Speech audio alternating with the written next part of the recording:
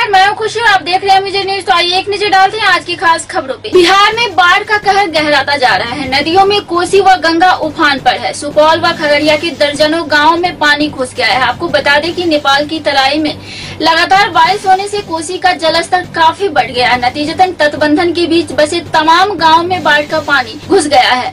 उधर खगड़िया में गंगा के जलस्तर में भी, भी लगातार वृद्धि हो रही है। दियारा क्षेत्र में बाढ़ का पानी फैल रहा है। पानी के तेज़ी से फैलने से अब तक सैकड़ों एकड़ फ़सल डूब चुकी है। हालाँकि प्रशासनिक स्तर पर अब तक फ़सल की क्षति का कोई आकलन नहीं किया गया है। गोगड़ी बीओ के अनुसार अभी गंगा की धारा व उपधारा के आसपास के खेत ही बाढ़ से डूबे हैं। सर्वे नहीं किया जा सका है।